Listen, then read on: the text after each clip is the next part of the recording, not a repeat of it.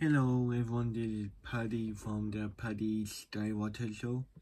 Coming with you with my Humungousaur video review.